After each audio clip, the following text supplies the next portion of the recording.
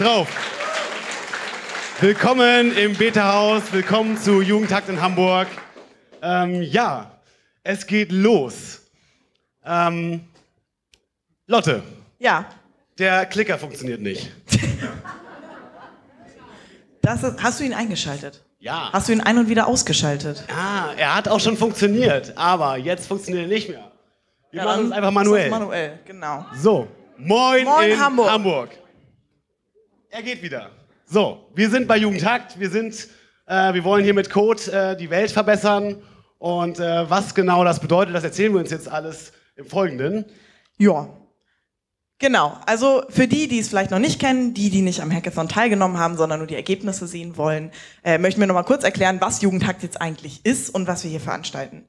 Jugendhakt ist ein innovatives Veranstaltungsformat, äh, das darauf setzt, dass die TeilnehmerInnen selber machen und von unseren Mentor reizenden MentorInnen nur unterstützt werden, darin äh, die Welt ein bisschen besser zu hacken. Und die Idee ist nicht, dass wir jetzt irgendwie die krassesten Hacker ausbilden und Hackerinnen, sondern dass sich die Teilnehmenden äh, austauschen und voneinander lernen und auch lernen, dass es unterschiedliche Skillsets gibt und äh, das wertschätzen zu lernen. Genau, uns ist es super wichtig, äh, dass das auch passiert mit einem gewissen gesellschaftlichen Anspruch. Das heißt, äh, dass sich die Teilnehmenden mit äh, gesellschaftlich relevanten Fragestellungen beschäftigen, in ihrer Beschäftigung mit Technik und dass sie dabei mit offenen Daten arbeiten. Genau.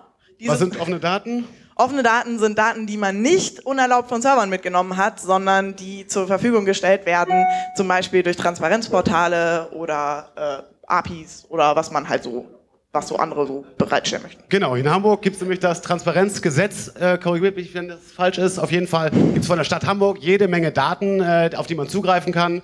Ähm, eigentlich alles, was die Stadt so macht, muss sie offenlegen. Und das kann man sich äh, angucken und man kann damit eben auch äh, bestimmte Sachen basteln oder das, ähm, ja, überhaupt, man kann sich informieren und man kann damit eben auch was veranstalten. So. Genau. Und weil das so ein tolles Konzept ist, äh, hat das in Berlin angefangen und hat sich dann von da aus seinen Weg in die Welt gebahnt. Wir sind ja hier offensichtlich nicht in Berlin. Das heißt, äh, das findet auch in Hamburg statt, in Köln, in Ulm, in Frankfurt am Main, in Halle, jetzt auch international in der Schweiz, in Österreich, äh, Südkorea, China, Taiwan und der Mongolei. Genau.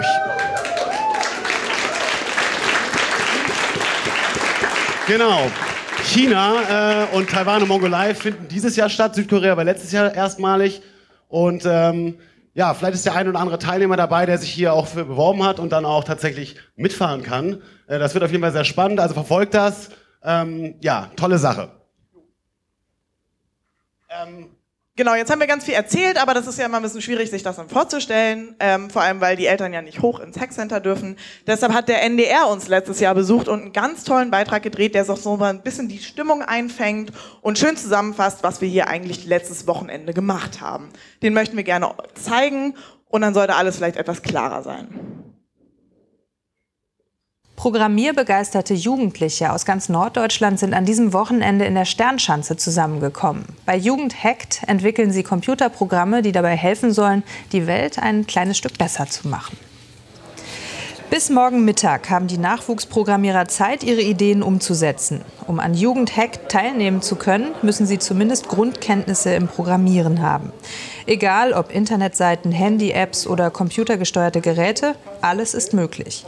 Was sie am Ende entwickeln, ist alleine ihnen überlassen. Die Veranstaltung möchte den Hackerbegriff von seinem Negativ-Image befreien. Die Jugendlichen arbeiten ausschließlich mit Datensätzen, die offen zugänglich sind. Sie sind zwischen 12 und 18 Jahre alt.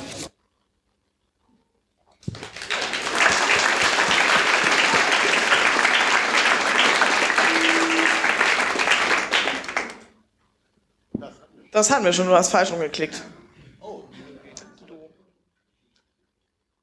Genau. So, jetzt habt ihr den Eindruck vom letzten Jahr gewonnen und auch so ein bisschen davon, was wie so ein Lötkolben aussieht.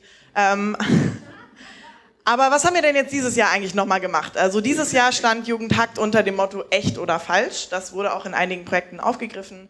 Äh, das geht nicht nur um Fake News, sondern auch darum, wie die Grenze zwischen echt und falsch eigentlich verläuft. Und ist alles, was man nicht anfassen kann, unbedingt falsch? Und ist alles, was man anfassen kann, echt? Ähm, dazu hatten wir äh, noch eine Hacker-In-Diskussion, äh, nee, Hackerin, ein Hacker-Ethik-Talk, der uns erklärt hat, ähm, wie man eigentlich mit Daten und Code und dem, was man so äh, an Programmierbarkeit kann, eigentlich, wie man damit verantwortungsvoll umgeht. Genau, also was macht man, wenn man irgendeine Sicherheitslücke entdeckt? Äh, äh, nutzt man das gleich aus oder ähm Vielleicht halt auch nicht. Vielleicht halt auch nicht, ne? Also ähm, es gibt halt auch eine gewisse Verantwortung, die damit einhergeht, mit diesen Fähigkeiten, die die Jugendlichen hier haben.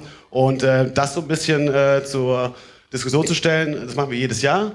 Und äh, es ist immer wieder toll, wie viel Gedanken sich die Jugendlichen auch tatsächlich machen. Also es ist nicht so, dass sie sagen, äh, habe ich noch nie von gehört. Die machen sich wirklich Gedanken darüber und ähm, ja. ja, es ist schön äh, zu erleben. Also ich habe hier zum ersten Mal von der Idee Datenschutz als Umweltschutz gehört. Äh, fand ich sehr interessant. Genau, um, um, äh, um nach diesem generellen Input, dass man keinen Unsinn bauen soll, gab es dann noch so ein paar äh, Talks dazu, wie man zum Beispiel eigentlich ähm, Visual Thinking betreibt. Das heißt, wie benutzt man Post-its und Addings, um seine Idee zu Papier zu bringen und weiterzutreiben. Äh, was es eigentlich Git und äh, wie findet man eine super Idee. Dann haben wir äh, losgelegt und gebrainstormt und ganz viele Ideen visualisiert und ganz viel gebastelt und natürlich gehackt. Das heißt, es wurden sehr viele Ideen in Software gegossen und ähm, falls irgendwer im Stream oder der Anwesenden hier eine Idee sieht und sagt, geil, das will ich auch. Der Code ist immer öffentlich. Ihr findet den auf Hackdash und auf GitHub. Das heißt, merkt euch am besten den Projektnamen und schaut dann mal auf GitHub nach. Ähm, und wenn ihr Lust habt, entwickelt es weiter, stellt einen Pull-Request, weil dafür ist offener Code auch da. Genau. Ähm, ja, hier ähm, wird also nicht ein fertiges Produkt unbedingt gemacht, das soll man vielleicht sagen. Also es ist ein sehr kurzer Zeitraum, in dem die äh, Teilnehmerinnen und Teilnehmer hier äh, an ihren Ideen feilen und irgendwie in die Umsetzung gehen. Ähm, es ist eigentlich völlig normal, dass die Sachen nicht wirklich fertig werden. Ähm, und das ist auch gut so, weil äh, das zeigt, dass es auch äh, ein bisschen komplexer gedacht ist.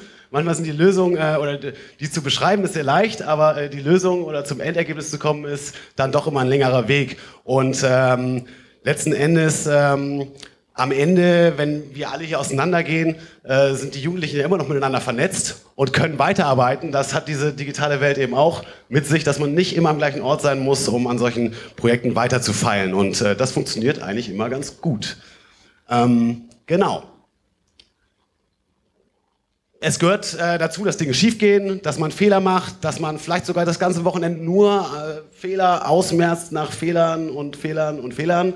Äh, selbst das ist äh, ein tolles Ergebnis, weil ähm, ja, man am Ende sagen kann, ich habe Probleme gelöst. Und ich weiß nächstes Mal, wie ich das Problem schneller löse. Und dann sitze ich nämlich alleine und es ist viel frustrierender, so ein Problem alleine zu lösen, äh, als wenn man es schon mal vorher zusammen auf dem Hackathon gelöst hat und dann sagt, ah, richtig, da hat mir Hanna doch erklärt das und dann äh, geht das viel besser. So. Genau. Das ist dann aber auch so ziemlich alles zum Konzept. Als nächstes möchten wir Danke sagen. Genau.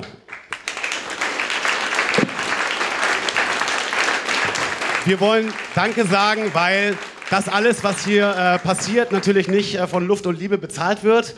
Also wir machen das natürlich schon ehrenamtlich, aber ähm, Trinken äh, kostet Geld, Schlafen kostet Geld äh, oder Übernachten in einem Hostel zum Beispiel.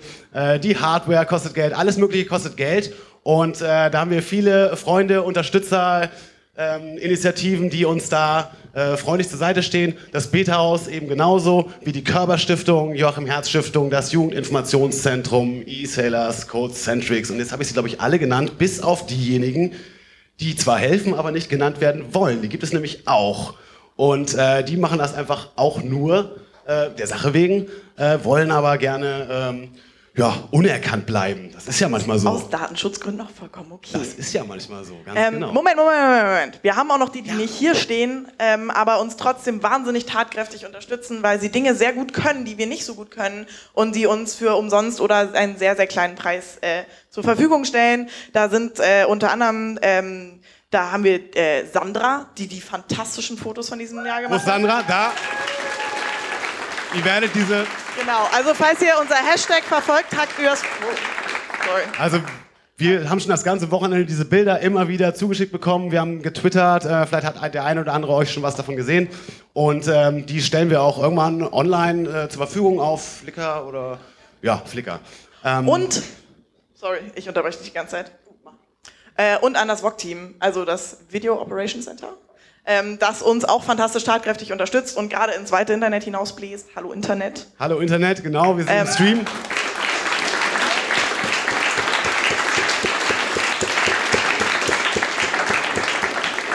An der Stelle wollen wir auch einmal nochmal äh, nach Berlin grüßen, weil da ist nämlich Jugendhakt Berlin auf der Maker Fair und die gucken das von da auch und äh, drücken uns die Daumen oder drücken euch die Daumen. Und ähm, Bin genau. ganz gespannt, was da alles so herumkommt. Hallo Maker-Fan.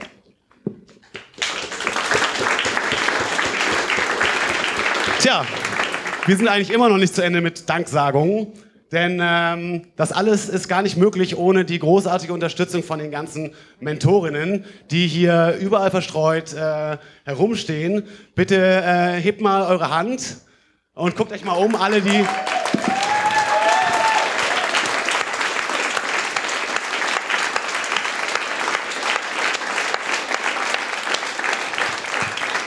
Genau, die haben äh, den Teilnehmerinnen und Teilnehmern hier das ganze Wochenende irgendwie zur Seite gestanden, ihnen irgendwie geholfen bei Problemen, aber letzten Endes sie das auch selbst lösen lassen. Ja, Genau. Danke. Und vielen Dank dafür. so. Den Livestream haben wir schon erwähnt. Wer ihn noch nicht geteilt hat bei Freunden, Omas, Opas, äh, wem auch immer, der kann das jetzt nochmal tun. Das ist relativ leicht ins Handy einzutippen äh, und irgendwie in die Welt rauszuschicken. Ihr könnt uns auf, äh, ja, auf Twitter folgen. Ähm, den Twitter-Account haben wir gar nicht erwähnt, aber den findet ihr schon raus. Und äh, Hashtags findet ihr dort auch. Also bitte äh, twittert fleißig und ähm, Genau, in, an, der, an der Stelle nochmal eine Bitte an, den, äh, an die Leute, die äh, vom Livestream aus zuschauen, falls ihr ein Projekt seht, wo ihr sagt, boah, das finde ich toll, das möchte ich gerne auch haben, die Idee hatte ich noch nie, ich würde gerne mit euch in Kontakt treten, kommt doch bitte bei unserem Hackathon vorbei. Schreibt das gerne auf Twitter, es ist total schön zu sehen, dass Leute zuschauen und äh, eine positive Resonanz auf die Projekte haben. So, jetzt haben wir aber auch wirklich lang genug geredet und äh, wir fangen jetzt an mit der ersten Gruppe. Welche ist das? Das ist Datenparty. Ja, Datenparty. Ähm, Sekunde, da müssen wir noch eine Sache zu sagen. Datenparty ist schon mal das erste gute Beispiel dazu, äh, dafür, dass die Jugendlichen nicht, nicht nur zusammenarbeiten, sondern auch wirklich in größeren äh, äh, Dimensionen denken. Also es gibt einige Projekte, äh, unter anderem Datenparty, die äh, so groß sind, dass sie sich in eigentlich drei Gruppen aufgeteilt haben. Das heißt, wir haben jetzt quasi drei Präsentationen, die aber alle zusammengehören. Und äh, ja, mit dem Teil 1 beginnen wir jetzt. Ähm, willkommen auf der Bühne.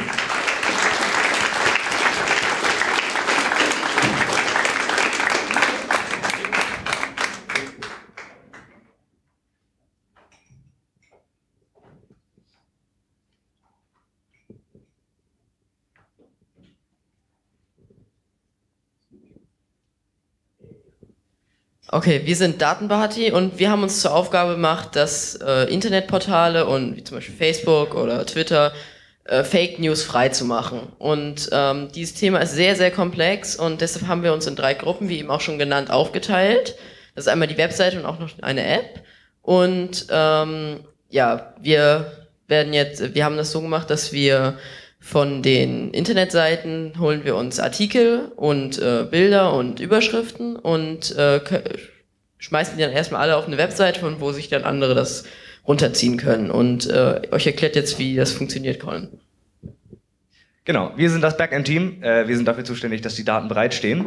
Äh, dafür haben wir eben so ein nettes kleines Programm geschrieben, äh, das uns eben direkt von den Seiten von Spiegel, FAZ, Welt äh, und Zeit und neuerdings auch The Guardian, also ganz international, äh, uns die alle bereitstellt. Ähm, und das funktioniert so, dass die eine direkte HTTP-Anfrage an diese Seiten schicken und dann durch den Quellcode der Seite auslesen, was wir brauchen. Also ähm, Text, Kategorien, äh, Links und Überschriften. Und das wird dann alles in eine JSON-Datei ähm, gewürfelt. Also JSON ist eine bestimm ein bestimmtes Format für Textdarstellung. Ähm, damit sich dann eben die ganzen Endprodukte wie die Website und die App sich das runterziehen und auch da richtig darstellen können. Ja, und dann haben wir jetzt ähm, neuerdings auch eine API, also richtig offiziell, ähm, hauptsächlich ähm, mit Java, äh, dass eben, wir haben eine Java-Klasse äh, hier und die ist nicht sehr lang, weil es tatsächlich nicht so komplex ist, Aber ähm, da können sich dann eben andere Leute diese Klasse runterladen und dann verwenden, um eben direkt auf diese JSON-Datei zugreifen zu können und die dann auch für ihre Projekte zu verwenden, sollten sie diese brauchen. Das war's auch von meiner Seite.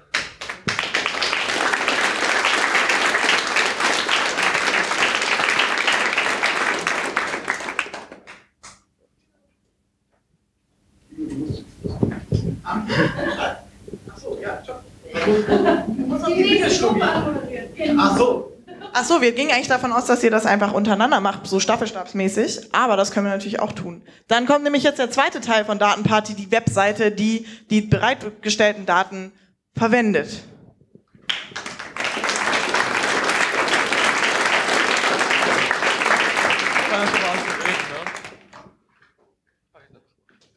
Ja, also wir sind der zweite Teil von Datenparty, wie gesagt, weil das ein sehr komplexes Thema ist.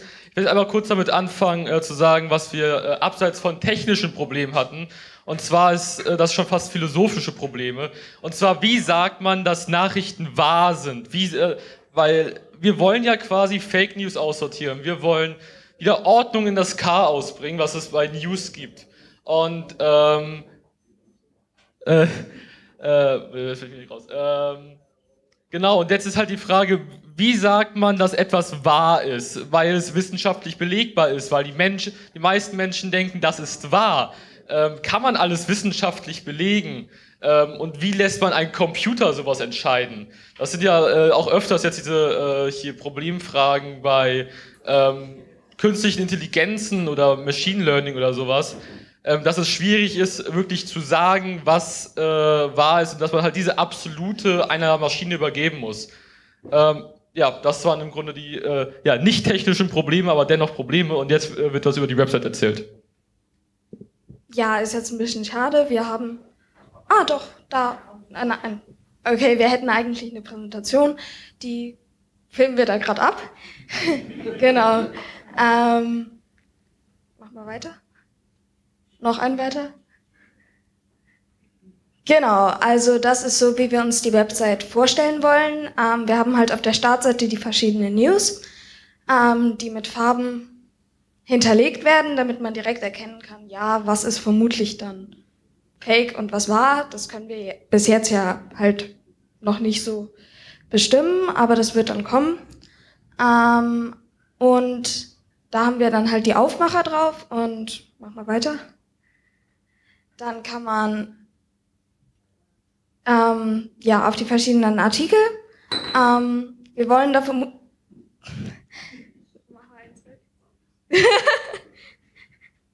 ja, wir wollen dann vermutlich eine Kommentarfunktion an die verschiedenen Artikel einbauen, ähm, dass man dann etwas äh, bestimmte Textstellen kommentieren kann. Und dann haben wir bei Themen verschiedene Themen, auf die man dann drauf kann und halt über diese Themen lesen kann. Jetzt zu der Website, die wir bis jetzt haben. Genau, die Webseite sieht man auch da gerade. Ähm, die haben wir mit HTML und PHP programmiert. Äh, unter anderem mit diesem Dropdown-Menü, wofür wir JavaScript benutzt haben. Und damit greifen wir dann auf die Daten vom Java-Backend zu. Und dann werden die da angezeigt, die Artikel.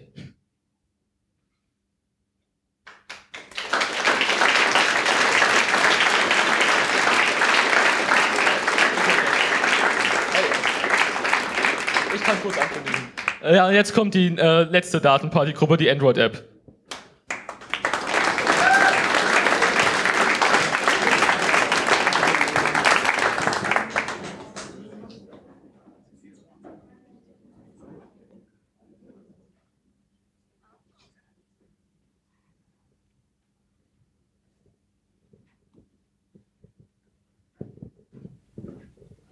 Hallo, das ist Jonathan und ich bin Noah. Wir sind beide 13 Jahre alt und wir, wir haben die äh, App zur, zum Projekt Datenparty programmiert und Jonathan zeigt euch jetzt die App.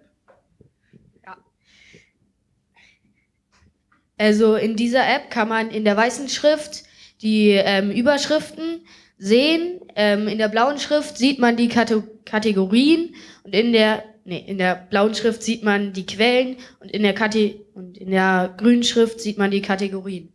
Und wenn man jetzt auf eine Überschrift draufklickt, die einen interessiert, Dann erscheint ein Pop-up-Fenster, ähm, wo es zwei Knöpfe gibt, schließen oder weiterlesen. Und wenn man auf Weiterlesen drückt, dann wird man auf die Website direkt weitergeleitet, wo der originale Artikel ist. Ähm, können wir dann zur Präsentation? Gut. Ähm, in der Zukunft sollen dann noch äh, hinter den Überschriften Bilder folgen und man kann dann bestimmte Kategorien äh, zu aktuellen Ereignissen auswählen. Ja, außerdem sieht man hier ähm, verschiedene Balken in verschiedenen Farben, in verschiedenen Farben, grün, orange und rot. Ähm, grün sagt, dass es vertrauenswürdig ist. Ähm, bei Orange weiß man es noch nicht oder man ist sich nicht richtig sicher und Rot ist Fake. Das ähm, soll dadurch geschehen, dass ähm, diese Artikel mit anderen Artikeln abgeglichen werden. Also umso mehr gleiche Artikel es im Internet gibt, umso vertrauenswürdiger ist es dann auch. So. Gut. Vielen, vielen Dank. Vielen Dank euch. Ähm, wir kommen äh, gleich zum nächsten Projekt. Ich finde es also erstmal super, äh, wie da erstmal aus so diesen verschiedenen Gruppen, ähm, ja, wie sie sich aufgeteilt haben und äh, wie auch schön das Thema echt oder falsch äh, aufgegriffen wurde. Das ist ja sehr aktuell, kann man sagen. Ne? Das nächste Projekt, was jetzt kommt, heißt Newsbox und die sind eigentlich auch gar nicht so weit entfernt von dem äh, von Datenparty, denn die haben eigentlich äh, gewissermaßen auch mit denen zusammengearbeitet, oder? Genau, da sieht man auch noch mal ganz toll, wie äh, so dieser dieser Gedanke von Koll Kollaboration statt Konkurrenz durchkommt. Ähm, die nächsten haben nicht wirklich, ja, wie Guido schon sagte, haben, sind nicht Teil des Datenparty-Projekts, haben aber trotzdem auf Funktionen von der Datenparty äh, zurückgegriffen und äh, da ihr eigenes Ding draus gemacht.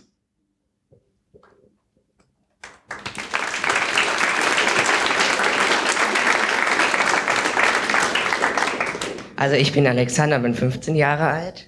Ich bin Felix und bin 14 Jahre alt. Ich bin Max und wir sind, äh, ich bin 17 Jahre alt und äh, wir haben das Projekt Newsbox. Die Newsbox ist eine kleine Box, die man sich dann ins Zimmer stellt, die, wo dann die Nachrichten dran angezeigt werden, die dann im Wechsel sind. Wir, unser Problem, was wir damit lösen, ist die Bequemlichkeit, dass man jetzt zu Hause ist wenn man jetzt zu Hause ist, dass man dann jetzt in den Raum geht, da jetzt irgendwelche Arbeiten macht und jetzt dann zu faul ist, jetzt den Fernseher anzumachen, um jetzt die Nachrichten zu gucken, dass man mit der Box dann einfach jetzt nur da drauf guckt, dass man dann einfach einen kurzen Überblick, was am Tag passiert ist, dann bekommt. Für unsere Newsbox haben wir einen Raspberry Pi verwendet, der hinten an einem 7 Zoll Touchscreen montiert ist und der Raspberry Pi bindet die Nachrichten über WLAN aus dem Internet ein. Ich möchte euch das einmal kurz zeigen, wie das aussieht. Also ganz oben ist die Schlag Schlagzeile zu sehen, darunter ist der Stand und hier kann man dann mehr von der Schlagzeile sehen und wie wir eben schon gesehen haben, das schlägt alle fünf Sekunden um. So, jetzt was zu den technischen Daten. Äh, an sich läuft im Hintergrund eigentlich nur ein Webserver, also eigentlich ist das nur eine Website, die aufgebaut wird.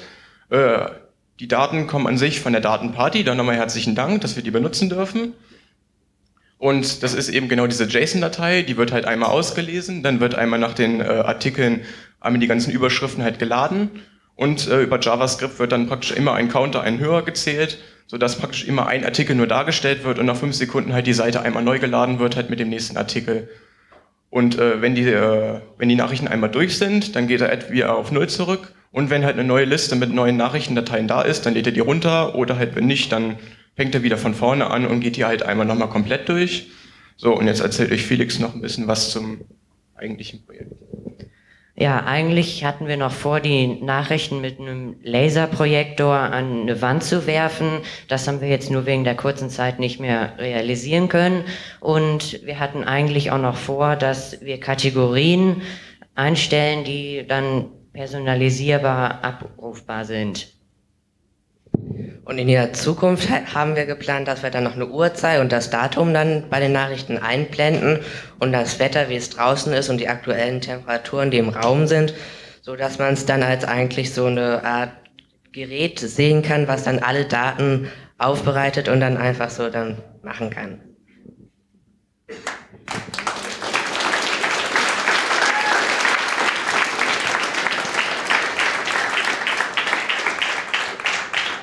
Okay, super. Das klingt doch total praktisch, wenn man das in der Küche stehen hat.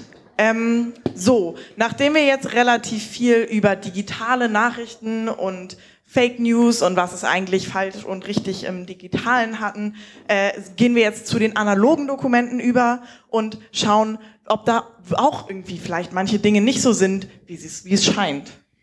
Ähm, ja, das ist Erik, ich bin Kai, wir sind beide 14 Jahre alt und unser Projekt ist Invisible Tracking Dots und ähm, Laserdrucker, die man ganz normal kaufen kann, die äh, machen automatisch kleine hellgelbe Punkte auf das Blatt, so dass man halt ähm, das nachverfolgen kann, von welchem Hersteller der Drucker ist, welcher Drucker es ist und das Datum und halt die Uhrzeit. Und wir wollten das halt umgehen und haben ähm, halt ein Programm halt geschrieben, womit zufällig solche hellen gelben Punkte einfach auf dem Blatt gesetzt werden, so dass man das nicht mehr auswerten kann. Ja, und dann. So, ähm, wie sehen die gelben Punkte überhaupt aus? Hier haben wir so eine Millimeterskala von einem ausgedruckten Blatt Papier mit einem Laserdrucker. Ähm, was man sieht, sind hier diese gelben Punkte, die da in einem scheinbar zufälligen ähm, ja, Order aufgedruckt sind. Ähm, hieraus lassen sich aber ähm, die gesagten Daten ablesen. So, ähm, die, äh, die Abbildung haben wir aus dem Internet, aber wir haben auch selber Abbildung gemacht, aber dann mit Schwarzlicht. So, ähm, das sieht man hier jetzt nicht ganz so gut. Hier soll der Punkt sein. Ja, ähm, die Fotos sind dann nicht ganz so gut. Äh, als nächstes mussten wir den Farb ähm, die Farbe dieser ähm, Punkte ermitteln. Das haben wir gemacht, indem wir einfach unter Schwarzlicht hier so einen Gelbgradienten genom genommen haben, die Tracking Dots daneben gehalten haben und geguckt haben, wo das am besten übereinstimmt. Da kam dieses ganz helle Gelb raus. Den Farbcode konnten wir dann auch ausrechnen. Und ähm, jetzt geht's zur technischen Realisierung. Kurz bevor das Dokument zum Drucker übermittelt wird, äh, startet unser Makro und ähm, das verteilt dann zufällige gelbe Punkte in einem Raster auf das ganze Dokument. Hier sind die äh, Punkte zwar blau dargestellt, aber in echt werden sie natürlich in gelb. Ähm, dieses Raster hat eine Größe von zwei Drittel Zentimeter, damit sich die Phasenverschiebung zu den ähm, Tracking Dots immer ändert und wir so möglichst viele Punkte überlagern können. So. Ähm, ja, also das hier ist der echte ähm, Tracking-Dot hier und hier ist unser nachgestellter, der ist jetzt zwar ein bisschen größer, weil wir halt ein bisschen näher rangezoomt haben mit der Kamera, aber ja. Ähm, ja, dann wollten wir halt auch neben Word auch äh, LibreOffice unterstützen und wir brauchen noch umfangreiche halt Tests, um halt das 100% zu bestätigen, dass es auch funktioniert. So, und jetzt nochmal ganz zum Schluss unser Bezug zum eigentlichen Thema. Ähm, bei uns kann man nicht mehr erkennen, ob, äh, ob die Punkte jetzt wahr oder falsch sind. Also andere Interpretation des Themas. So, danke schön fürs Zuhören.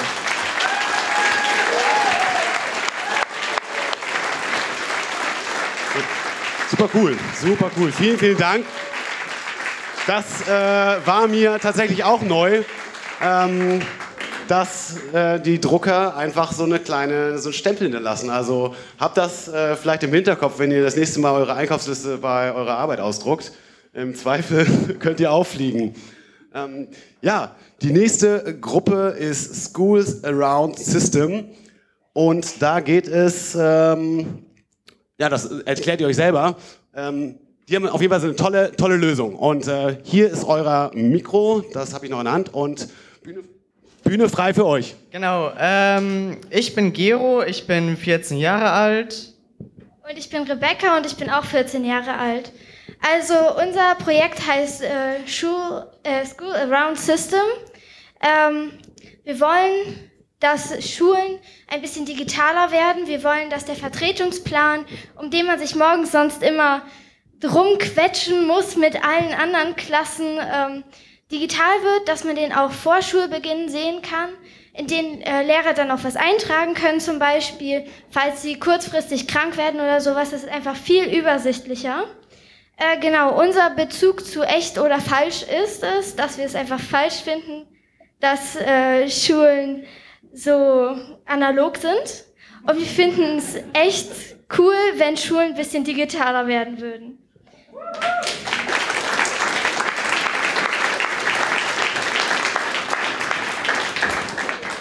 Jetzt ist der PC ausgegangen. Genau, jetzt wollte ich eigentlich die Seite vorstellen. Da müssen wir kurz Strom anschließen.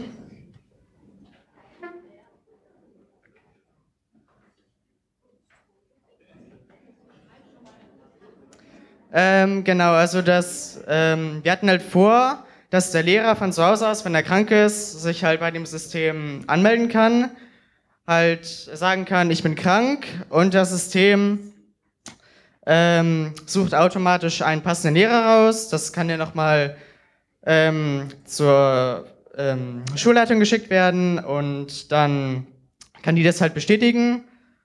Und dann wird das halt auf dem Vertretungsplan angezeigt, dann kann man seine Klasse auswählen und dann wird das gefiltert.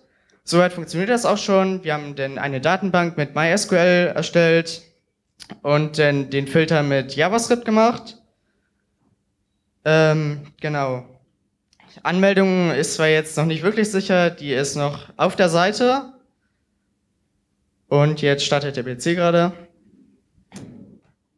Später wollten wir dann auch noch hinzufügen, dass der Lehrer auch noch Noten von den Schülern auf diese Seite schreiben kann, dass der Schüler andauernd sieht, wie er ähm, halt mündlich steht oder wie seine Tests gerade sind, wie er insgesamt steht und dass er dann auch den Lehrer kontaktieren kann, wie er sich verbessern kann. Denn das haben wir jetzt auch noch nicht. Ähm, wir wollen dann auch noch später hinzufügen, dass der Lehrer ähm, Hausaufgaben hinzufügen kann, dass die Schüler halt das auch nicht mehr auf Papier schreiben müssen, dass alles digital ist, dass man dann einfach nur auf das System gucken muss und weiß, ah, jetzt habe ich in Englisch ähm, im Arbeitsbuch auf der Seite so und so die Aufgabe so und so. Ja.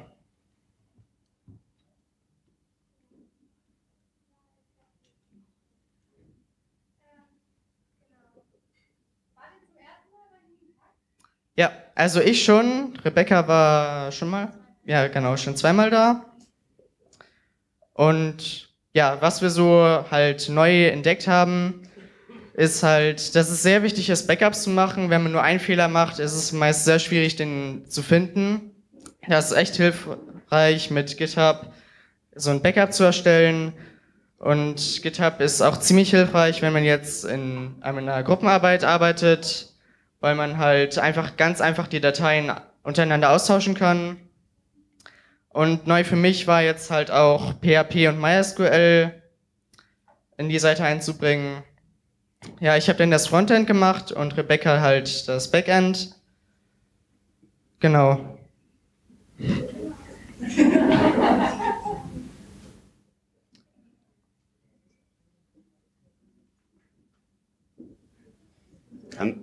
Ist jetzt nicht ganz so optimal.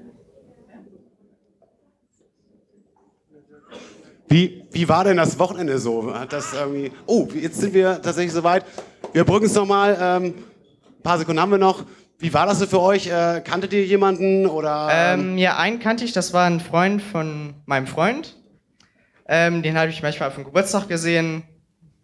Also da kam mir das Gesicht schon bekannt vor. Und einen kannte ich auch aus einem Attraktor, ein Mentor hier bei dem habe ich auch schon mal so einen Workshop gemacht. Und insgesamt waren die hier alle ziemlich nett und haben auch sehr gerne geholfen.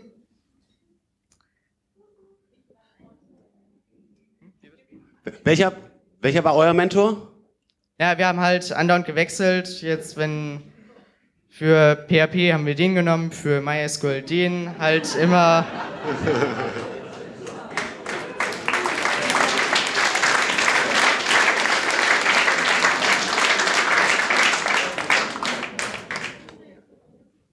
Er ist eigentlich hochgefahren, aber er zeigt nichts an. Okay, dann können wir erstmal.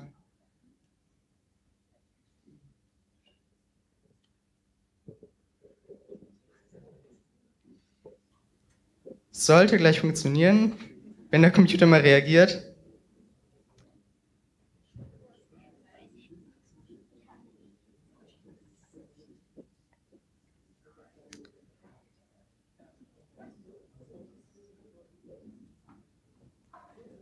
Okay, wir suchen gerade ähm, hier Bitnami, womit wir halt auch den Server erstellt haben. Ähm, ja, sonst können wir auch einfach schnell mal ohne PHP und MySQL zeigen. Das ist dann halt ohne Datenbank. Das ist dann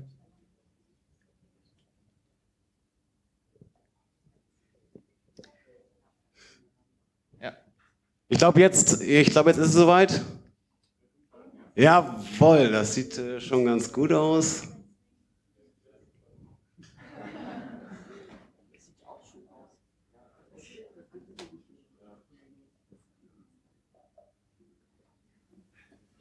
Genau, hier startet sich einmal die Anmeldeseite. Jetzt.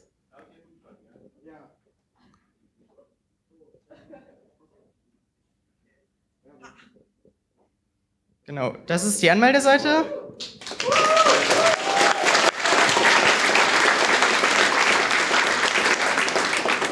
Da kann man dann einmal seinen Namen angeben und ein Passwort. Da kann man jetzt erstmal irgendwas eingeben. Genau, und dann kommt dann halt auf die Startseite. Da wird dann später noch angezeigt, wenn wir das dann alles mit einer Datenbank machen, ähm, nur Informationen über seinen Stundenplan und wie man mündlich steht. Genau, da sollte eigentlich der Verdrängungsplan sein. Und hier ist halt der, die Notenübersicht, wo auch der Durchschnitt halt automatisch errechnet wird. Okay. Super.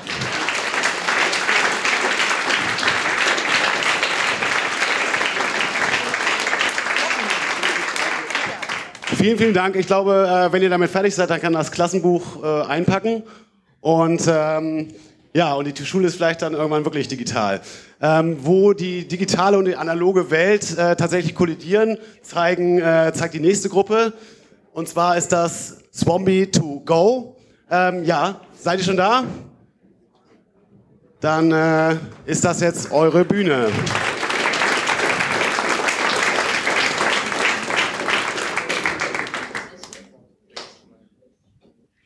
Also euch ist das wahrscheinlich schon öfters passiert oder mindestens einmal, wo ihr auf euer Handy guckt und durch die Stadt läuft und eine Person aus Versehen anrempelt oder gegen irgend so ein Schild läuft. Das tut weh und kann auch peinlich sein. Und deshalb haben wir uns gedacht, wir bauen eine Hülle, die einen davor warnt, dass man irgendwo gegenläuft.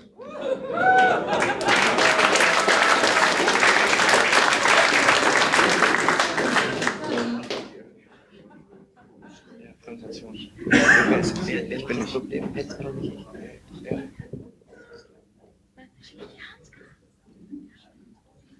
Da ist noch kein Bild da. Ja. Wer hat das jetzt gehabt? Er hat es gerade. Ja. Ähm, genau, also das, das, das, das Problem, das uns dann, ähm, dass wir dann, ähm, auf das wir dann gestoßen sind, war dann. Das Problem, auf das wir dann gestoßen sind, war dann halt, wenn man ähm, durch die Stadt läuft mit seinem Handy, das ist dann halt ähm, nicht gerade nicht gerade empfehlenswert und ja, das war eigentlich nicht meine Folie. Ich weiß nicht, wer das hätte machen sollen, aber genau, da war noch keine Folie da. So. Du machst doch diese Erfindung. Ja, ich Genau, und dann ähm, äh, zur Software. Ich habe ähm, mir gedacht, ich mache das so, äh, beziehungsweise wir machen das so, dass wir das äh, über einen Ultraschall, ähm, über eine U Ultraschallauswertung machen. Es wird über diesen einen Pin wird ein kurzer Impuls ähm, gesendet, wodurch äh, eine Ultraschallwelle losgesendet wird. Daraufhin wird gewartet, bis ähm, das Signal zurückkommt und kann, dadurch kann ausgerechnet werden, wie weit entfernt ähm, das Hindernis ist. Ähm, Ja, in unserer Handyhülle ähm, ist eigentlich nur das drinne. Also wir haben, wir haben erstens ein, ein Lithium-Ionen-Akku-Pack drinne, um den Arduino, um den Arduino Nano dort mit Strom zu versorgen. Das Praktische daran ist, dass wir dann gleich unser Handy auch noch aufladen können und so eine kleine Akkuerweiterung haben. Ja, der Arduino, der wertet einfach nur die Daten von dem Ultraschallsensor aus und schaltet dann eine LED an oder aus. Genau, jetzt können wir das Ganze mal vorführen. Es müsste laufen. Und wenn jetzt halt etwas ähm, zu dicht davor kommt, wenn man zum Beispiel in der Hand hält, dann leuchtet die LED und man wird aufmerksam, äh, dass etwas vor einem ist, man ausweichen sollte. Derzeit ist es zwar noch ein bisschen äh, klobig, da halt auch der Sensor sehr groß ist. Äh, das kann man dann in späteren äh, verbesserten Versionen ähm, sicherlich kleiner hinbekommen. Man kann das wahrscheinlich auch noch mit mehreren Sensoren, was man auch noch seitliche Abstrahlungen hat, dass man dann direkt erkennt, wohin muss ich denn ausweichen, nach links oder nach rechts und somit gar nicht mehr nach vorne gucken muss ähm, und komplett nur auf sein Handy gucken kann.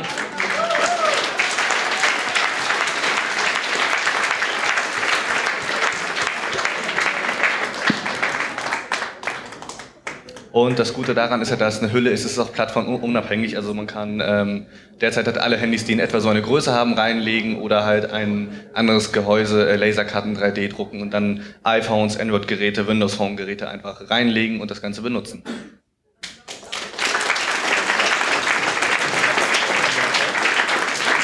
Wenn wir noch genug Zeit haben, könnte man noch einmal ganz kurz die Hülle aufmachen. Okay, die Zeit ist nicht mehr da, dann. Oder? Ja, man kann noch ganz kurz äh, die Schaltung da drin zeigen, die Technik, die da in, äh, drin verbaut ist. Genau, und so sieht es da drin einfach aus. So, fertig.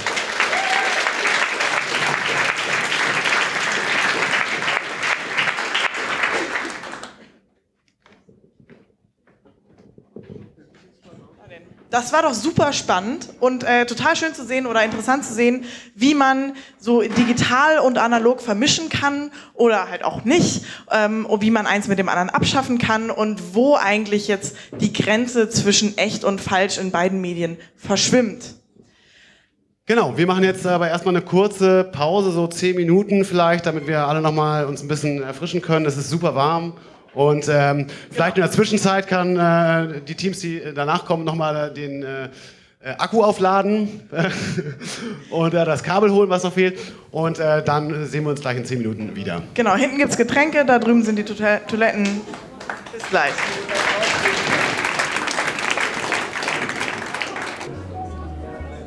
So. Ah, Mikros an.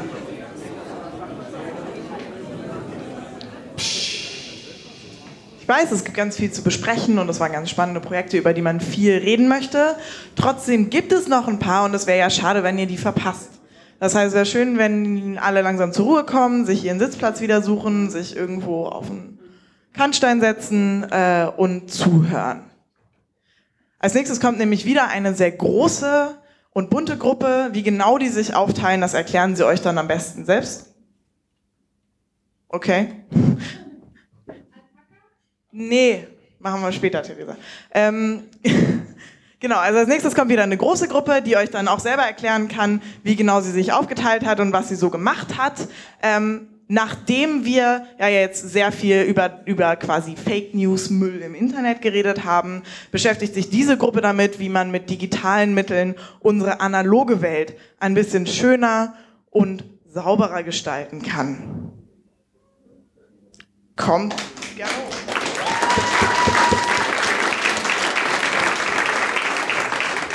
Gruppe heißt Ocean Cleanup. Ich, ja. Also ich bin Clara. Ich bin Leonie. Ich bin Mareike. Ich bin Svenja. Hi, ich bin Finn. Ich bin Johannes. Und ich bin Luca und gehöre zum ähm, Projekt World Cleanup. Das ist in die zwei Unterkategorien aufgeteilt, Ocean Cleanup und City Cleanup. Also das eine bezieht sich vor allem auf die Ozeane und die Müllstrudel, die dort existieren. Das andere bezieht sich mehr so auf die Städte und die Straßen, die ziemlich dreckig auch manchmal sind. Johannes und ich haben an der Web-App Ocean Cleanup für das schon bestehende Projekt Ocean Cleanup, was entworfen wurde von einem Student in Holland, gearbeitet und haben dazu eine Karte erstellt, wo man Icons hinzufügen kann, also zum Beispiel die Müllstrudel auf den Meeren als Schiffskapitän hinzufügen kann, weil die Schiffskapitäne können zu diesen Müllstrudeln halt fahren. Dort sind so Vs aufgebaut und dort sammelt sich halt der Müll, den können sie dann abholen recyceln und für diesen Plastikmüll, aus dem kann man ja so Sachen wie Hohlkammerplakate, die viel in der Werbebranche genutzt werden, machen. Dafür bekommen sie dann halt Geld und hier haben wir eine App erstellt, um das alles noch einfacher zu machen, dass die Schiffskapitäne nicht alle zum selben, ähm, zum selben Ort halt fahren und dafür CO2 ohne Ende verballern. Hier hätten wir sogar einen originalen Punkt. Das ist ein Müllstrudel, der liegt im Atlantischen, Nordatlantischen Ozean. Der ist auch laut der Karte von Ocean Cleanup aktuell. Dort könnten die Kapitäne theoretisch jetzt schon hinfahren. Dort ist auch ein Müllstuhl. Ähm, man kann mit diesen Buttons hier unten, die Johannes erstellt hat, ähm, kann man zum Beispiel mit dem Plus neue Müllstrudel hinzufügen. Mit dem Minus kann man welche löschen, falls die nicht mehr existieren. Der Hai mit dem Herzchen bedeutet, dass diese momentan leer sind oder dass dort noch nicht genug ist, dass es sich lohnen würde, dorthin zu fahren. Und die Mülltüte und die zwei Flaschen bedeuten halt, dass dort ziemlich viel ist, dass es sich lohnen würde, dorthin zu fahren. Mit diesem App-Icon von unserer App kommt man direkt auf die Homepage von Ocean Cleanup. Ähm. Das wäre halt die Homepage von dem eigentlichen Projekt. Mit dem Plus könnte man zum Beispiel jetzt einen Punkt hinzufügen. Ähm, da müssten wir jetzt den Längengrad und den Breitengrad eingeben. Das wäre in diesem Fall der Indische Ozean.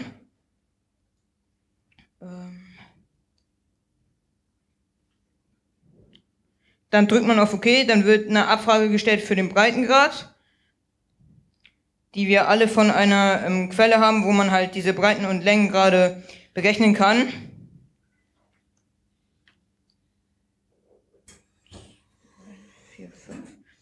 Nun können wir noch einen Namen hinzufügen. In diesem Fall nehme ich jetzt einfach mal Test.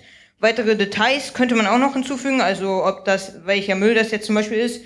Dann noch ein Datum hinzufügen, wann das hinzugefügt wurde. Und nun haben wir ein Icon, nicht im Indischen Ozean, okay. Aber wir hätten hier ein Icon erstellt, wo man halt draufklicken kann und Informationen bekommt.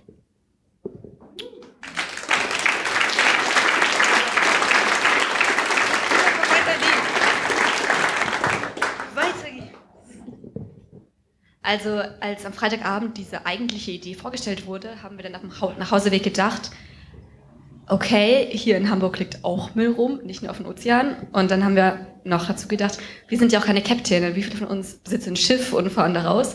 Dann haben wir gedacht, okay, wir wollen was machen, was hier ist und wo jeder von uns mitmachen kann. Und dazu haben wir überlegt, nehmen wir jetzt, machen wir jetzt eine App und die jetzt eben eher auf die Städte, also auf die Städte, auf Land, also nicht auf Wasser spezialisiert ist. Ich zeige euch jetzt die App.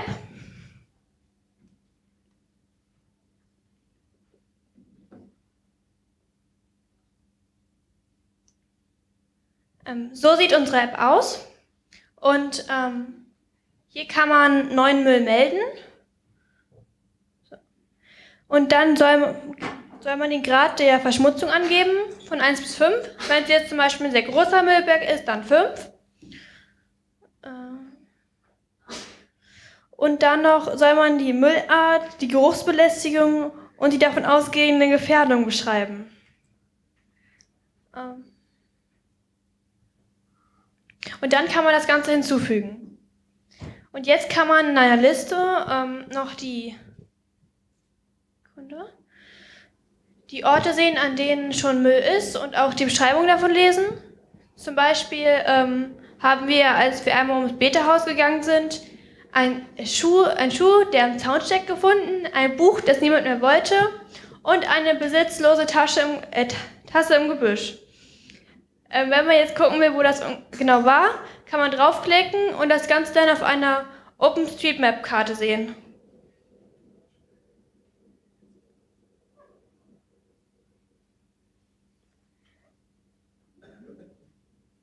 So sieht das dann aus.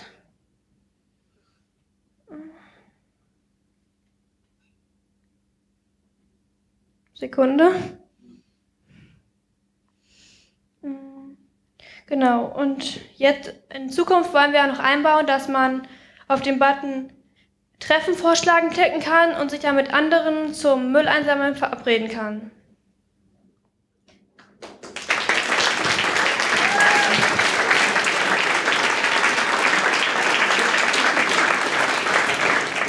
Ja, genau. Also, und wir haben das dann. Äh, will das will ich noch zeigen. Achso, okay, dann machen wir lieber weiter. Ja, also Finn und ich, wir haben uns um den Server gekümmert.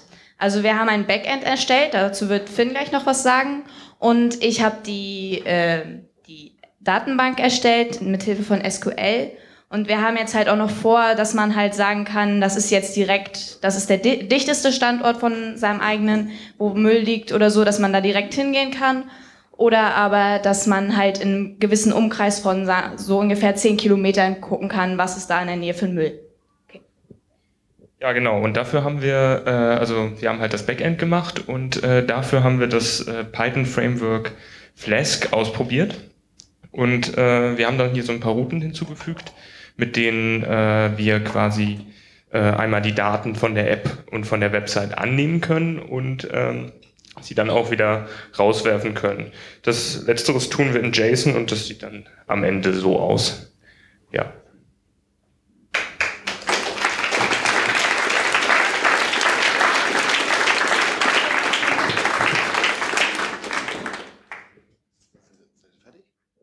Alles klar, vielen, vielen Dank euch. Das klingt nach einer sauberen Sache. Ähm, ja, das heißt also, äh, wenn ich jetzt irgendwie im Park bin oder wir im Park sind und da ist irgendwie super viel Müll, dann tragen wir das da ein und dann machen wir irgendwie mit euch einen Müllflashmob oder sowas und sammeln schön fleißig ein und ähm, ja und hinterlassen alles natürlich sauber und ähm, ja wunderbar. Vielen vielen Dank dafür. Als nächstes äh, kommt jetzt äh, die Gruppe Kamera Warner. Wir kommen also quasi vom Thema Sauberheit zu vermeintlicher Sicherheit, sage ich mal. Und äh, was genau äh, ihr gemacht habt, das erklärt ihr jetzt am besten selbst. Ähm, ja, wir sind die Gruppe Kamerawarner und wir überwachen die Überwachung und wollen über die Überwachung im öffentlichen Raum aufklären. Das machen wir durch unsere App und die Website, die den Usern zeigen soll, wann und wie viel sie im öffentlichen Raum überhaupt überwacht werden. Ähm, die Daten haben wir von einem OpenStreetMap und von Surveillance under Surveillance. Ich habe mich hauptsächlich um unseren Server, wo halt auch die Website draufläuft, worüber euch Peter gleich noch was erzählt, und halt, wo unsere eigene SQL-Datenbank ist, wo halt ja ein Teil der Kameras, die in der App und auf dem und auf der Website angezeigt wird, gespeichert ist. Also wir haben auch noch eine Webseite zu der App. Da werden die Kameras von OpenStreetMap angezeigt und die Webseite haben hauptsächlich Jam Jamil und ich gemacht und ja, man sieht jetzt schon, dass auch die Location von heute markiert mit dem Alpaka und hier sind auch in der Nähe ein paar Kameras. Und auf der Webseite sieht man auch, wird die App vorgestellt und unser Projekt. Die App, da sagt euch jetzt Martin etwas.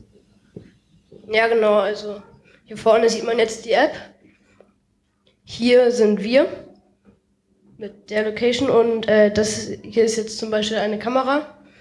Hier ähm, wird man gewarnt, wenn eine Kamera in der Nähe ist. Das ist jetzt in diesem Umkreis hier, der jetzt markiert ist. Da ist keine Kamera drin, deswegen bekommen wir keine Nachricht. Wenn wir das jetzt ändern. Ach nee, jetzt einen Schreibfehler gemacht. Da kann man ähm, den Data Provider, also ähm, die Datenbanken äh, einstellen, welche Datenbanken wir benutzen. Und jetzt habe ich das zum Beispiel auf 1000 Meter gestellt. Hier sind jetzt ziemlich viele Kameras und das schlägt das aus, weil in dem Umkreis halt auch die Kameras jetzt sind. Technisch funktioniert das so, dass da im Hintergrund ein Service läuft, der zieht sich dann die Kameras von den Datenbanken und hat auch immer die Position vom Nutzer. Und wenn eben eine Kamera in der Nähe vom Nutzer ist, eben innerhalb des definierten Radiuses, dann wird eben eine Benachrichtigung gesendet, damit der Nutzer nicht aus Versehen vor eine Kamera läuft. Oder damit er, wenn er vorbeiläuft, läuft, dann auch schön lächeln kann. Und nochmals letztes Bild, einfach nur um zu zeigen, wie viele Kameras in Norddeutschland ungefähr gemeldet sind. Also es sind wahrscheinlich noch sehr viel mehr.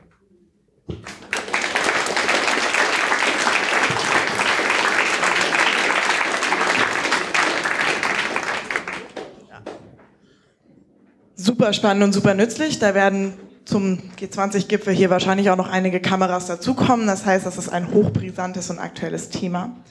Nachdem wir uns jetzt ein bisschen mit dem öffentlichen Raum und unserer großen, weiten Welt beschäftigt haben, ist als nächstes wieder das Private dran. Und äh, was genau das bedeutet, erklärt uns dann die nächste Gruppe, nämlich Instant Help.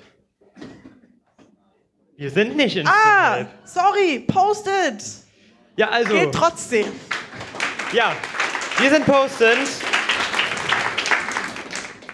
Wir bestehen aus einmal Karl Nummer 1. Hier haben wir noch Johannes. Hier vorne ist Masamori. Dort ist Jasper. Und ich bin Karl Nummer 2. Und man kennt es doch, dass man irgendwas noch machen muss, wie man muss den Müll rausbringen, man muss noch einkaufen fahren, man muss was weiß ich, Google noch hacken. Und dann hat man am Schluss so viele Post-its rumhängen, dass man dann irgendwann die einfach nur noch verliert und nicht mehr weiß, was man machen muss. Und da versuchen wir mit Post-its zu helfen, indem wir eine Online-To-Do-Liste erstellen. Dazu haben wir einen einfachen Login-Screen erstellt, auf dem man ohne private Daten äh, freizugeben sich einen Account für die Familie erstellen kann und dann sich einfach einmelden kann. So.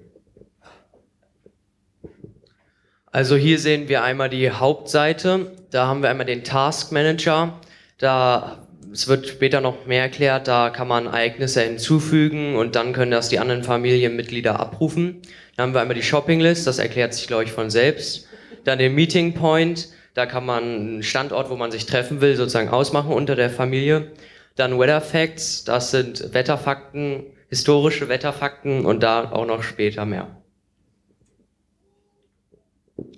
Genau, also das hier ist der Task Manager und dort haben wir eine sehr simpel zu verstehende To-Do-Liste drauf. Wir haben eine Checkbox, wir haben eine Beschreibung und wir haben einen Löschenknopf. Und äh, das Ganze funktioniert auch ganz simpel, so dass das jeder versteht. Man klickt auf den Löschenknopf, um was zu löschen. Man klickt auf die Checkbox, um etwas abzuhaken. Und man fügt etwas hinzu, indem man den Namen eingibt und auf den neuen Task hinzufügen Knopf drückt. So einfach ist es. Außerdem ist äh, diese Seite natürlich mit den anderen Familienmitgliedern verbunden. Mit anderen Worten, wenn mein schöner Bruder, nicht Bruder, hier etwas hinzufügt, dann kann ich das auch sehen. Okay. Dann haben wir noch eine zweite Seite, die wir vorstellen möchten. Die stellen wir, die haben wir eher aus Jux erstellt, weil wir noch was mit Open Data machen wollten.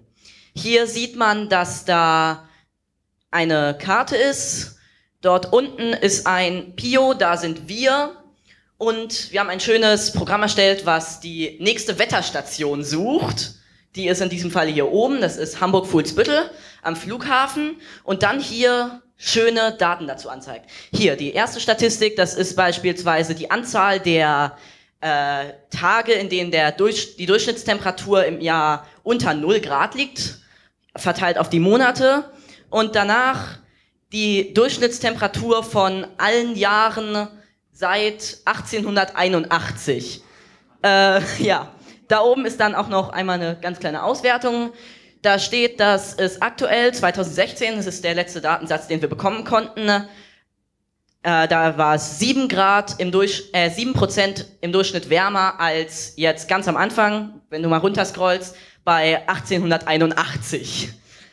Ähm, die Daten, die haben wir vom Deutschen Wetterdienst und ja, dann daraus eine schöne Statistik erstellt.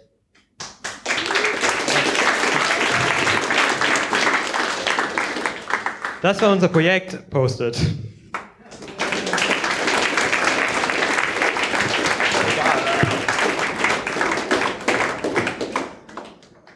Wir vom Jugendtag Orga-Team sind ja eher so eine metaphorische und keine richtige Familie, aber das hätte uns bestimmt auch bei der Organisation des Events geholfen. Äh, das nächste Team ist dann wirklich Instant Help und die lösen ein Problem, das ich zum Beispiel auch haben könnte. Ich muss bald meine Softwaretechnik-Hausaufgaben abgeben. Jugendhack war spannender, ich habe nicht so viel gemacht und hier gibt's bestimmt jemand, äh, nee, Software testen. Und hier gibt's bestimmt jemand, der sich damit viel besser auskennt als ich.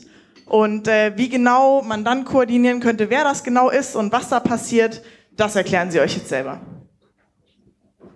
Hallo, herzlich willkommen. Wir sind das Team von Instant Help und wir stellen uns, äh, wir stellen Ihnen unsere App vor und jetzt wird Paul euch etwas über das, die Main-Idee, sozusagen die allgemeine Idee erzählen und über Probleme und Herausforderungen, mit denen wir zusammengestoßen sind. Ich glaube, wir kennen es alle. Stoff im Unterricht nicht verstanden und morgen ist eine Arbeit. Der Lehrer erklärt mal wieder alles viel zu kompliziert, meine Mitschüler verstehen auch nichts, meine Eltern haben keine Zeit und meine Nachhilfe ist erst wieder nächsten Monat. Was mache ich? Instant Help ist eure Lösung. Instant Help bietet sofortige und analoge Hilfe von netten und kompetenten Leuten aus deiner Umgebung oder deiner Region an. Wir bieten eine nutzerorientierte App für iOS und Android und eine webbasierte Nutzeroberfläche. Genau, die App, ähm, hier haben wir einmal das Design, das ist komplett von uns selbst erstellt worden. Wir haben ein eigenes Logo, die Farben sind äh, in grün, blau, blau gehalten. Äh, wieso, weiß ich eigentlich gar nicht. Ähm, um, ja, man kann sich halt anmelden und registrieren auf der App. Äh, das Design ist noch nicht ganz äh, vollständig äh, fertig. Wir wollen es halt so freundlich, ähm, so benutzerfreundlich wie möglich halten.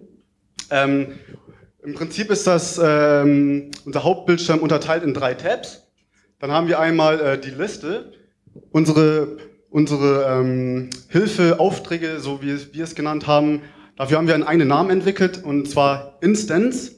Ähm, die kann man halt je nachdem benennen. Zum Beispiel, wenn ich ein Problem in den binomischen Formeln haben, habe, dann äh, benenne ich mein Problem halt binomische Formeln, Problem, tippe dann meine Frage ein, was ich genau dafür ein Problem habe.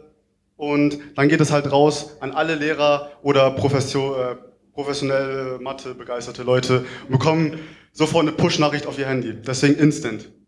Genau. Ähm, des Weiteren haben wir hier auch noch so ein Häkchen. Das sind halt die abgeschlossenen äh, Instants und die aktuellen laufenden. Dann, das ist eigentlich relativ selbsterklärend, hier kann man einen neuen Instant rausschicken und das eigene Benutzerprofil äh, bearbeiten oder einsehen. Ja, ansonsten wollen wir die App auch nochmal ganz kurz auf dem Handy zeigen. Einen Moment, ich muss nochmal kurz starten.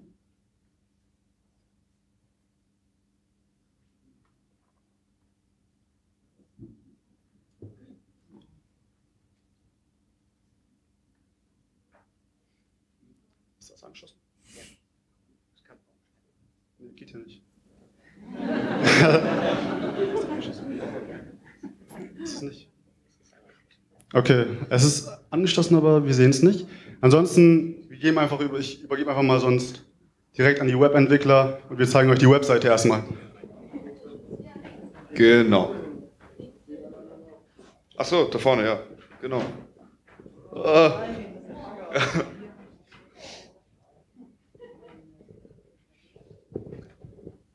Dann einmal den Bildschirm umswitchen, bitte. Genau. Also wir haben noch nicht viel implementiert. Hier ist halt jetzt der Anmeldebildschirm. Da meldet man sich jetzt an.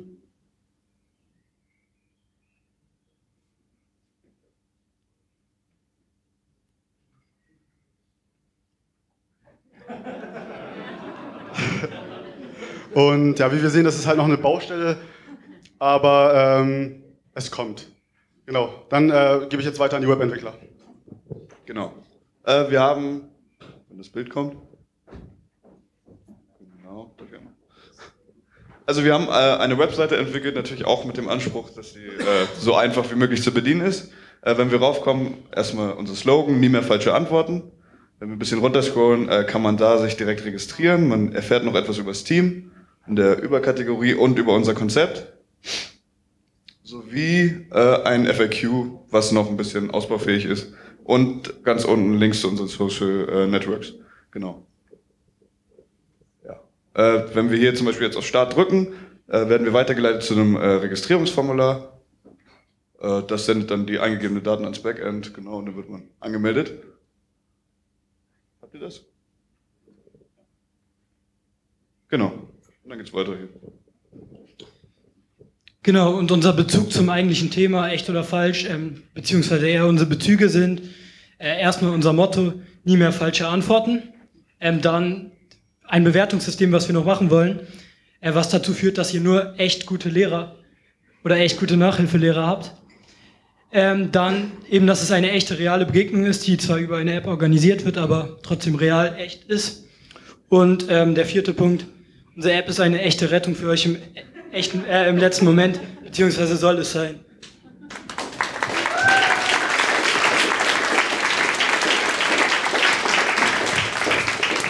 Genau. Ähm, technisch haben wir, das, haben wir die Gruppe in drei Untergruppen aufgeteilt. Ähm, wir hatten einige, also zwei, glaube ich, haben sich um die Apps gekümmert, um die Android- und iOS-App. Die wurden entwickelt in Java und Swift. Dann hatten wir eine Web-Application, die in HTML, CSS, JavaScript und PHP gemacht wurde. Und ein bzw. zwei Backends, wovon das eine noch provisorisch ist und das andere dann später eintreten wird, wenn es vollendet ist, das in Python, ähm, MongoDB, äh, mit einer MongoDB-Datenbank und PHP geschrieben wurde. Also ähm, ursprünglich sollten wir das äh, Python mit NoSQL Backend verwenden, aber da, weil da es nicht so tragfähig war, haben wir ein PHP Backend entwickelt, das ähm, eben dann letztendlich verwendet wird.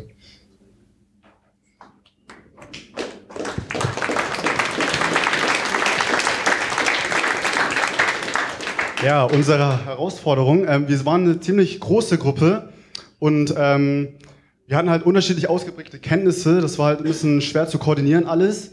Ähm, und wir hatten natürlich übelst Zeitdruck und äh, die Kommunikation hat halt nicht immer gepasst. Äh, aber wir haben gut zusammengearbeitet. Und ja, und äh, ja, aber im Endeffekt jeder hatte eine Aufgabe, jeder hatte was zu tun und genau. Ansonsten bei, bei irgendwelchen Anfragen, wir haben einen eigenen Kundenservice. und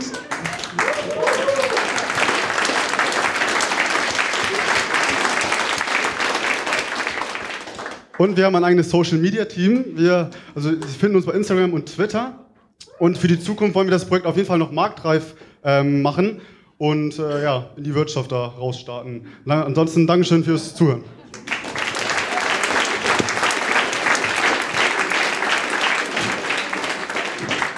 Ja, also wir folgen denen schon auf Twitter. ähm, so, kommen wir zu last but not least, dem letzten Projekt.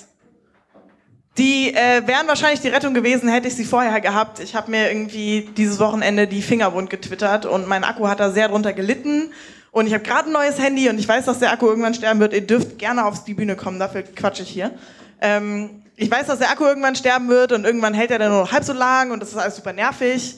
Und äh, wie man das viel besser machen kann, erklären uns jetzt die Jungs, wenn sie fertig sind mit dem Aufbau.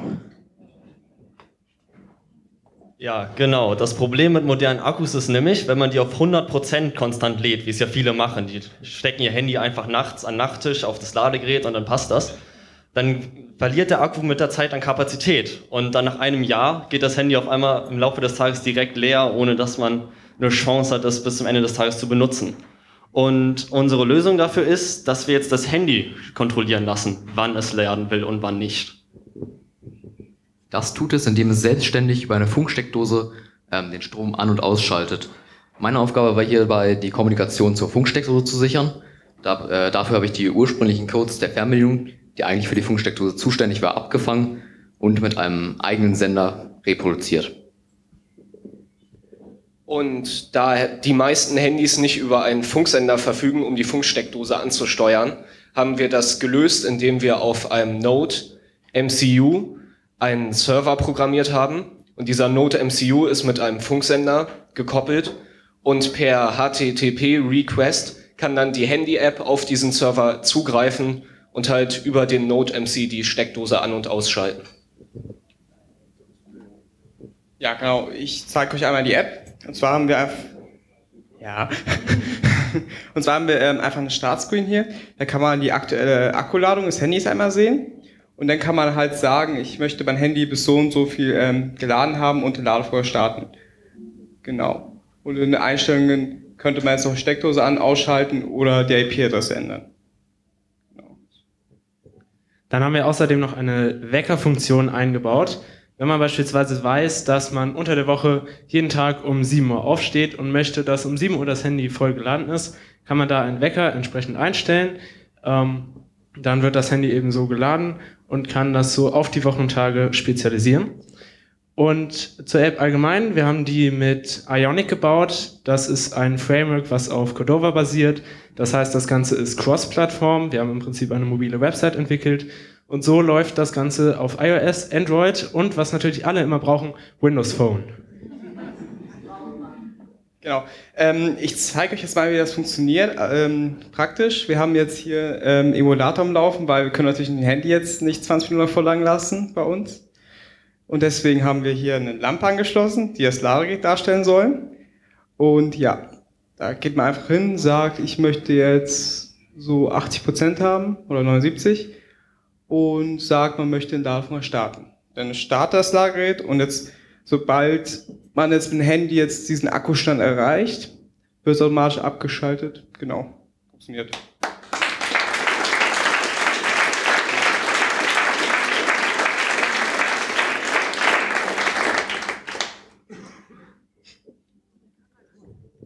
Für unser Plexiglas-Gehäuse haben wir uns InShape äh, beigebracht. Das ist eine 3D-Modeling-Software. Und äh, das ganze Gehäuse hier äh, kann ohne Kleber mit nur einer Schraube halten.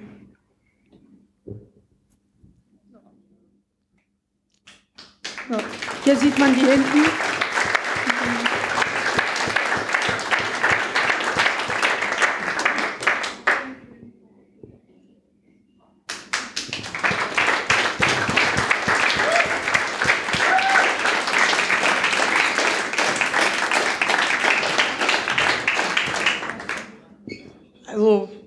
Reverse Engineering, 3D boah, Design und irgendwie Hardware und, und mobilen Apps ist schon echt ziemlich umfangreich, was sie da gemacht haben. Props. Ähm, Guido bastelt noch. Genau, dann sind wir jetzt nämlich dran. Dann äh, mit unserer, mit unserem Hack. Nein. Wir reden nur, wenn wir soweit sind. Genau. Nein, Spoiler! Keiner gesehen. Keiner gesehen. Mann, Mann mal drauf. So, wir gehen mal ganz kurz. Du möchtest dahin drücken, Guido. Ah. Ja. Das passt so. Das passt so, würde ich sagen. Also, ähm, genau, hat keiner gesehen. Ein paar haben es vielleicht gesehen, aber die äh, Eltern hier konnten damit nicht so schnell anfangen. Wir haben hier dieses äh, grüne äh, Ding hier, was ihr vielleicht schon gesehen habt auf den Namensschildern und habt euch gefragt, was ist das für ein süßes Gesicht? Ähm, es ist ein Alpaka, wie letztes Jahr äh, entschieden wurde von den Teilnehmern. Dieser Alpaka hat so einen gewissen Kultstatus äh, bei uns erlangt und wir twittern gerne darüber, wir schicken Filmchen von Alpakas und freuen uns. Und äh, wir haben hier auch so einen kleinen Schrein aufgebaut und das kann man von hinten natürlich nicht sehen. Hier haben wir auch einen Alpaka und ähm, genau. und äh, was wir da sehen, dann machen wir es mal so, ist äh, ein, äh, eine Patenschaft, die Boris für Jugendhakt übernommen hat, für uns oder ähm, und ähm, das ist Anni. Ist sie nicht schön? Ein Alpaka bei einer Alpaka-Farm und äh, willkommen in der Familie. Genau, Anni mit dem süßen Fleck auf der Nase und äh, ja, dafür äh, danken wir Boris ganz herzlich. Boris, unserem engagierten Mentor. Genau, Boris ein Mentor. Genau.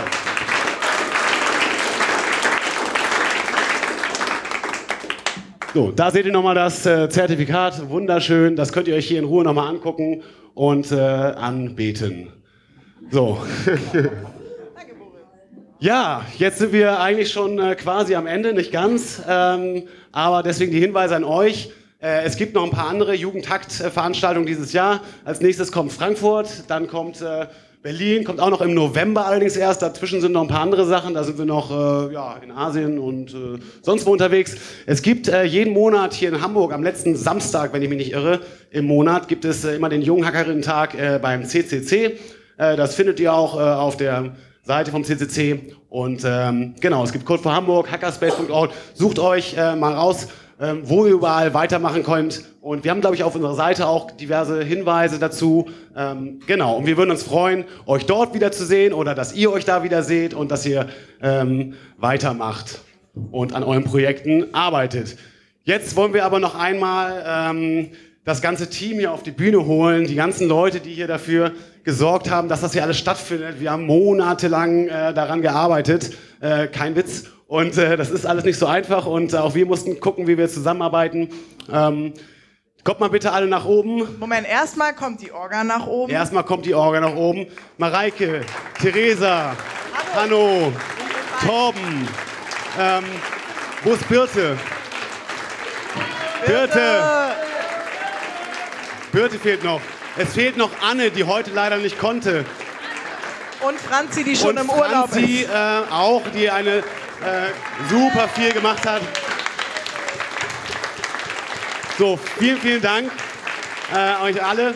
Äh, und jetzt möchte ich nochmal alle Mentoren hier nach oben bitten. Bitte kommt mal alle nach oben, weil, wie gesagt, ohne euch, äh, das ist kein Witz, geht das hier alles nicht. Wenn ihr nicht im Raum seid, ist irgendwann Stillstand. Einen herzlichen Applaus für die Mentorinnen und Mentoren.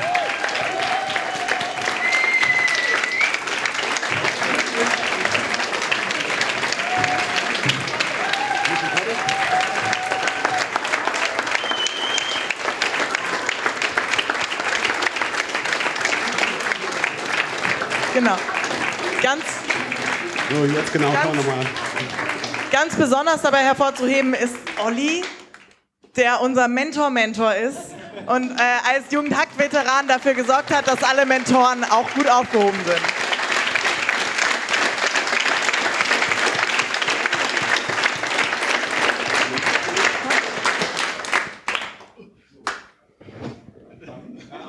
So. Das war's. Naja, Das fast. war's. Wir sagen Tschüss, äh, bleibt noch, trinkt noch. Ihr kriegt auch noch was. Ähm, Mareike flickt's mal schnell hinter den Tresen.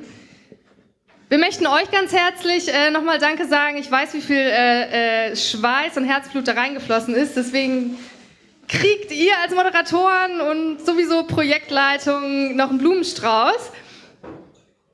Und es gibt noch eine dritte Person hier im Raum, die einen Blumenstrauß verdient hat, die nämlich das Ganze in herzzerreißende Bilder einfängt. Und das ist Sandra.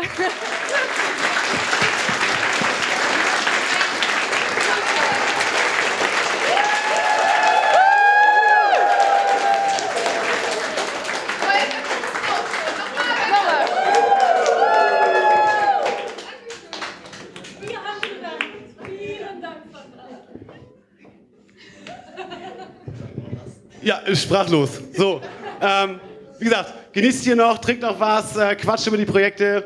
Ähm, wir fangen jetzt an aufzuräumen irgendwann. Genau, wir fangen an aufzuräumen. Das heißt, wir haben noch voll viele Poster übrig und unsere liebevoll gelasercutteten Mate-Marken, die alle in den Müll wandern. Wenn ihr welche davon haben wollt, sprecht uns an. Am Infotresen liegen auf jeden Fall welche rum, sonst da an dem Tresen, hier, guck mal, da wo es klappert, gibt's die Mate-Marken. Wir verkaufen uns auch noch T-Shirts, falls ihr eins von den, nicht den hier, sondern den lustigen bunt gereihten haben wollt. Da drüben für einen Zehner. Habt noch einen schönen Tag. Schön, dass ihr da wart. Vielen, vielen Dank. Tschüss.